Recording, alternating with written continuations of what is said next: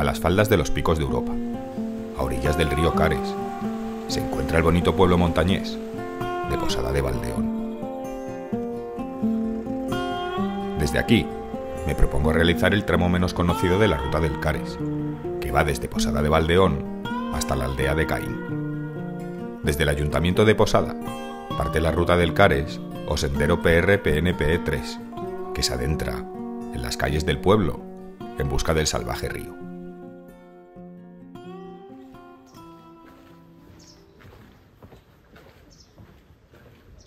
Este bonito pueblo leonés se sitúa a los pies de los picos de Europa, en el valle de Valdeón, rodeado por las altas cumbres de los macizos central y occidental, convirtiéndose en un enclave privilegiado para llevar a cabo numerosas rutas y aventuras. Dejo el pueblo a la espalda y las brumas matinales y cruzo el río Cares.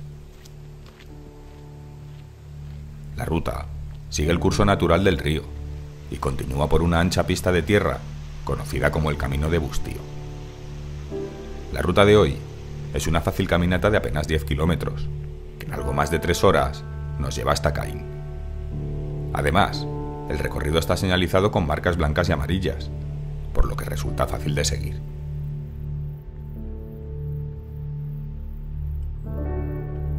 Sigo el camino, dejando a la derecha el embalse de Vegaboyán, al calor de este verano, se encuentra bajo mínimos. Este embalse es un punto de encuentro de numerosas especies de aves que se reúnen a sus orillas.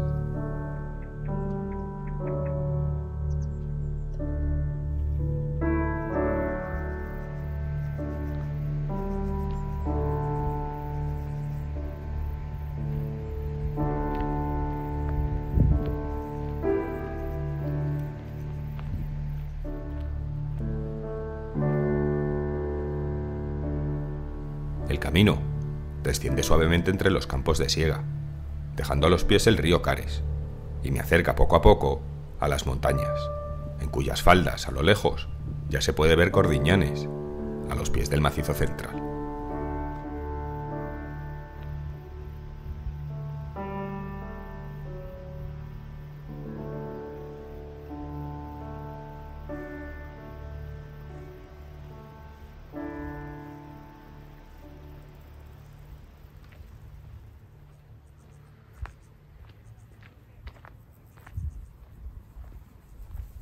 Esta parte de la ruta del Cares es menos conocida que la etapa que va desde Poncebos a Caín.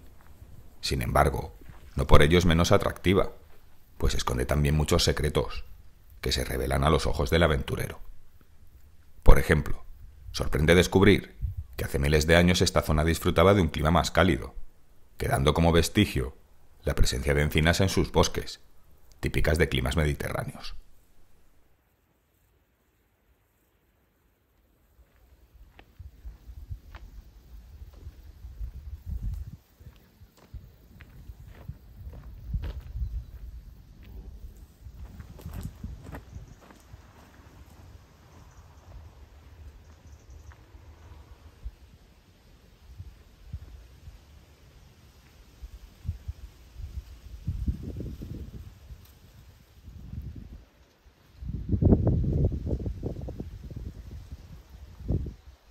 El sendero sigue en dirección a Cordiñanes, pero antes de llegar a la población se desvía a la izquierda y continúa su suave descenso por el valle.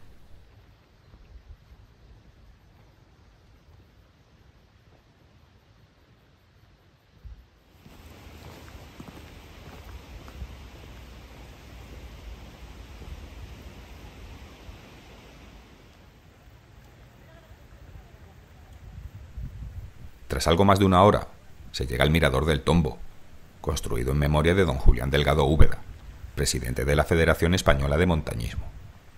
En él destaca la escultura de un rebeco, animal emblemático del Parque Nacional, y un grabado que facilita la identificación de las cimas que nos rodean.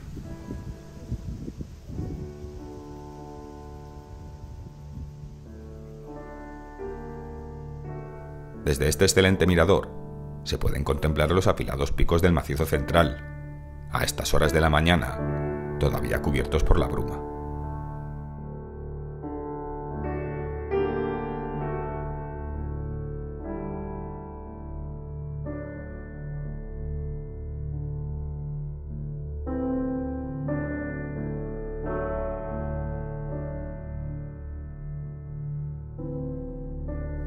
Desde aquí, se contempla también el Monte Corona, donde según la leyenda, don Pelayo fue nombrado jefe de los cristianos tras el inicio de la Reconquista. Algo que pasa desapercibido para la mayoría de visitantes es el bloque calizo que sujeta el monumento a Delgado Úbeda, pues la roca contiene una colonia fosilizada de corales rugosos, de más de 300 millones de años, y que atestigua el origen marítimo de los picos de Europa, sumergidos hace millones de años bajo el mar.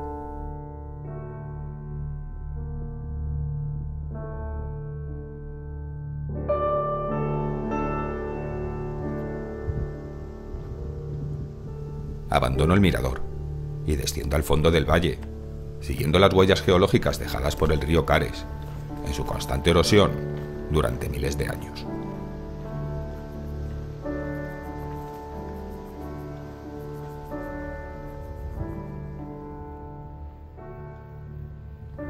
Según avanzo, las montañas van estrechando el valle, acercándome cada vez más a sus paredes calizas.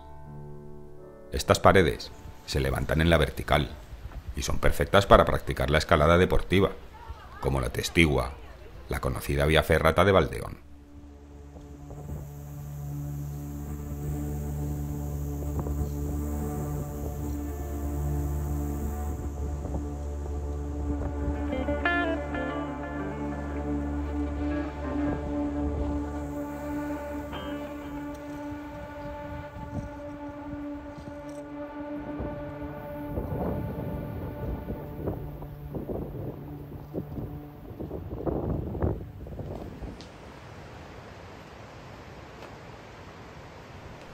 Continuó el sendero, que guarda más sorpresas en el camino.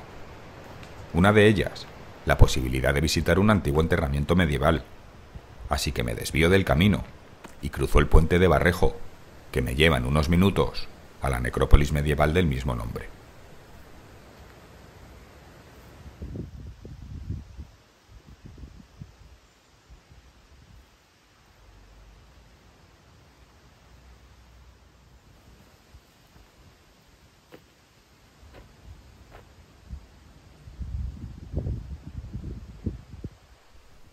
Este olvidado cementerio está formado por 25 tumbas, testimonio de los antiguos asentamientos humanos existentes desde la antigüedad en esta zona. Pero dejemos que sea el capitán Pelanas quien nos lo explique.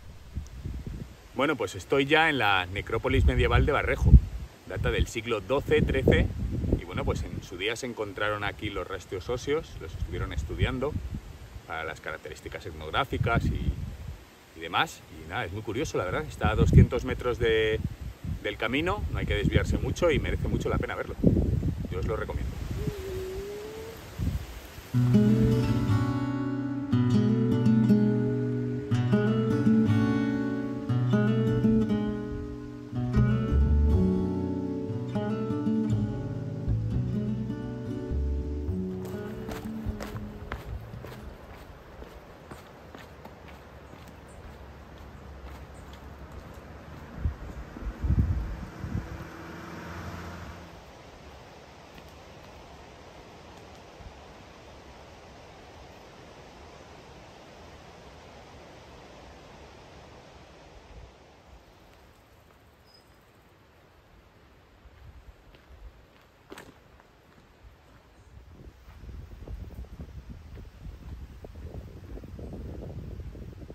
Continuó la ruta y a los pocos metros me desvió de nuevo.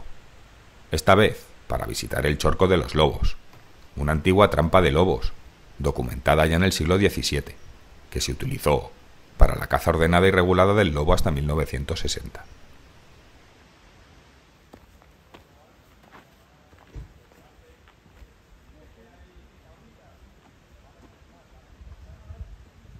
Estas cacerías llevadas a cabo por los habitantes de la comarca de Valdeón, aprovechaban la orografía de los angostos barrancos del Monte Corona para, mediante batidas, conducir a los lobos al interior del cercado.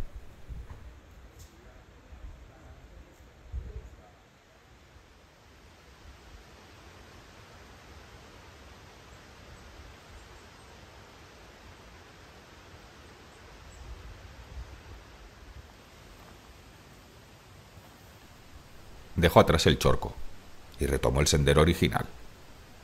En este punto, cruzó de nuevo el río Cares y siguió su corriente en dirección a la casería de Corona, donde se encuentra la conocida ermita.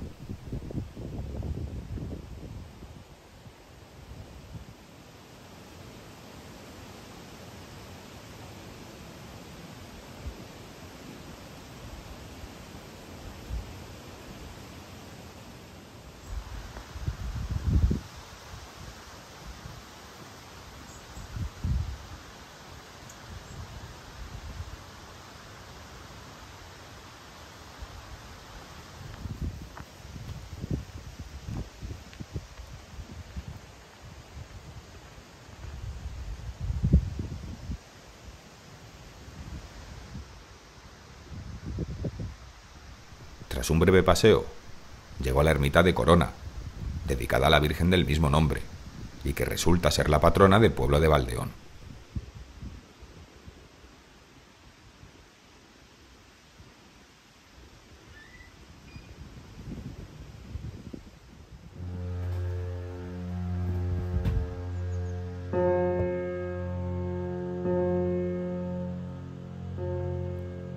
Según la tradición, se dice que en esta ermita fue coronado el rey don Pelayo, tras vencer a las tropas musulmanas en la batalla de Covadonga, y de ahí el origen de su nombre.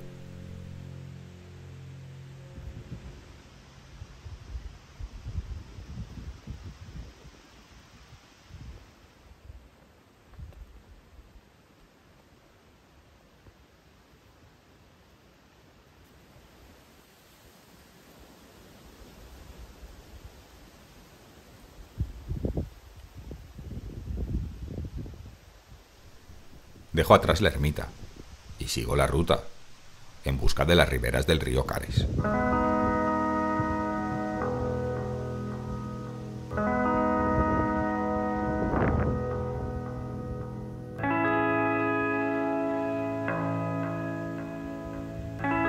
El camino transita paralelo al río, rodeado de un verde paisaje que cada vez acumula más vegetación.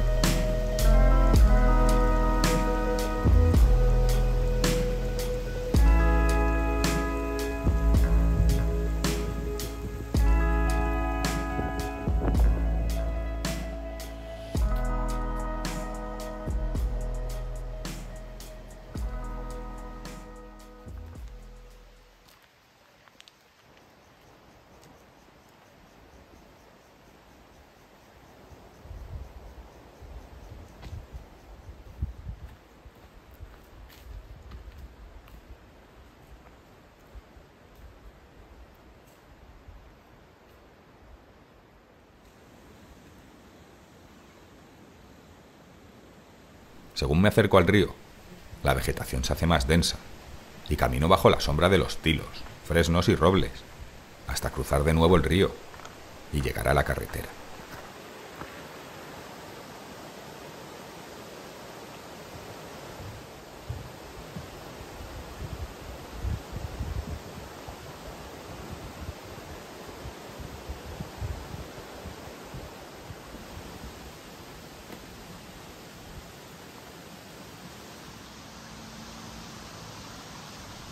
En este tramo, la ruta continúa por la carretera, por lo que sigo el carril habilitado para los peatones.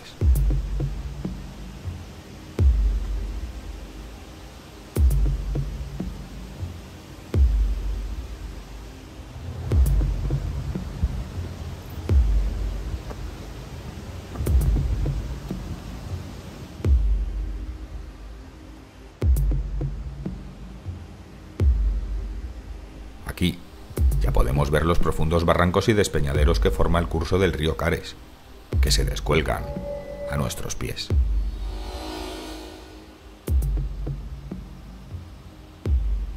En este tramo hay que tener precaución, pues la carretera es estrecha y los coches, con tanta curva, no tienen buena visibilidad.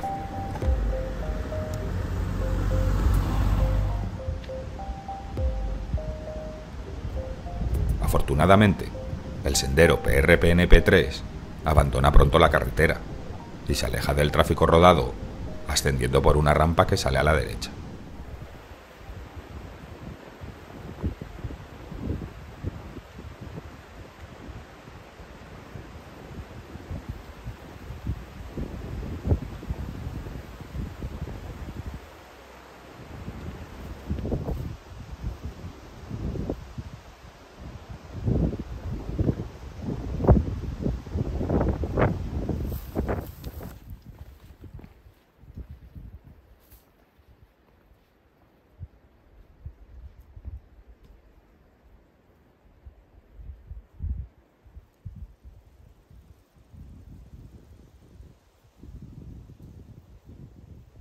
Este sendero me lleva ahora por un terreno más abrupto, por las faldas de la montaña, rodeado por los impresionantes picos de Europa.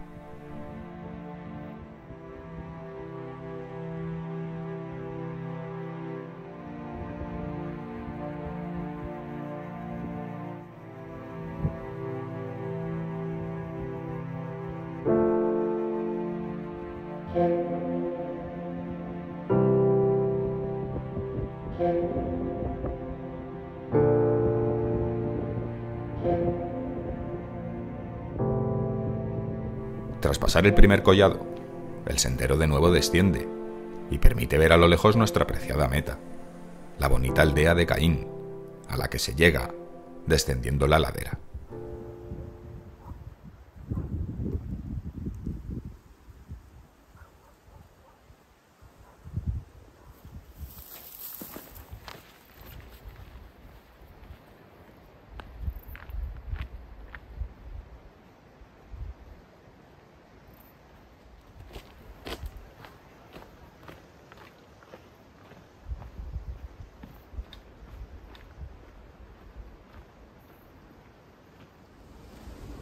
Por fin, llego a Caín y me abro paso por sus calles. Esta bonita aldea turística cuenta con un albergue y varios hoteles y restaurantes. Y en verano existe un autobús que te lleva de nuevo a Posada de Valdeón. Y de ahí, si tú quieres, a Cangas de Onís.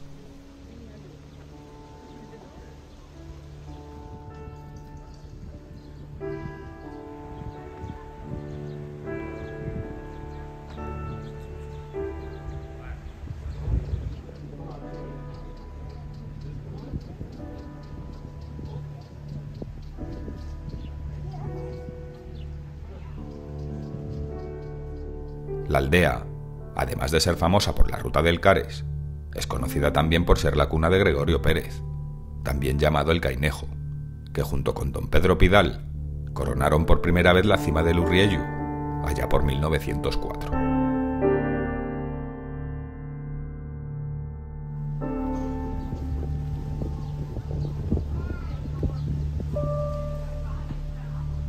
Y tras la caminata, lo mejor es descansar y sentarse a orillas del Cares para contemplar el bonito paisaje acompañado por el chapoteo del río.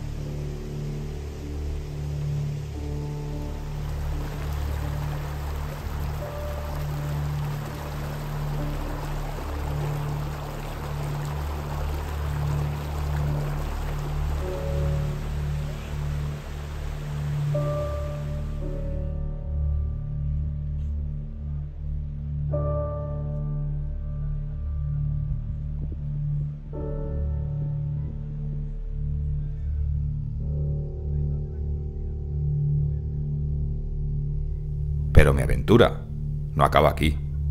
Hoy pretendo hacer noche en la aldea y por la mañana temprano partir hacia lo alto del macizo occidental, en busca del conocido refugio de Vegadeario, al que se llega cruzando la garganta divina y ascendiendo por la canal de Trea. Pero eso es otra historia. Si te ha gustado el vídeo, házmelo saber con un like y si te gusta este tipo de contenido, puedes apoyar al canal con tu suscripción. Yo sé que estas cosas no se piden, pero es la forma que tiene YouTube para alimentar el algoritmo y conseguir con tu ayuda que se pueda mostrar a más gente. Quién sabe, a lo mejor hay gente que aún no conoce al Capitán Pelanas. Un saludo.